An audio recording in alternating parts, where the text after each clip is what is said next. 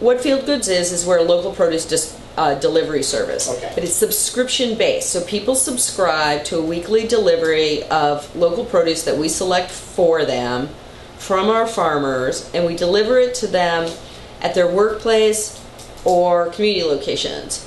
We primarily market the product or the service as a wellness program for companies. So it's a great way to get people eating healthier um, food that a company can support.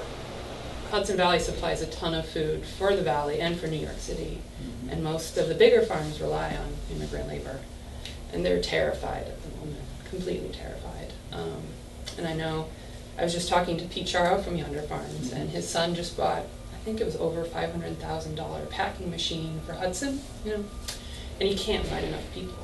The labor pool. People are leaving because they're so afraid. Certainly, there's labor shortages. Um, we've had growers that have had to leave um, product in the fields because they don't have enough staff. Really?